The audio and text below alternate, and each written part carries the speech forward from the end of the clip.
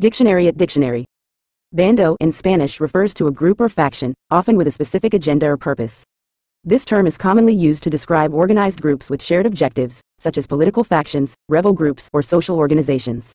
It can also denote a formal proclamation or announcement, particularly in historical or legal contexts, where it refers to an official edict or decree issued by authorities. In some regions, bando might also be used informally to describe a gang or group of people with a common interest or activity. The context in which bando is used determines its specific meaning.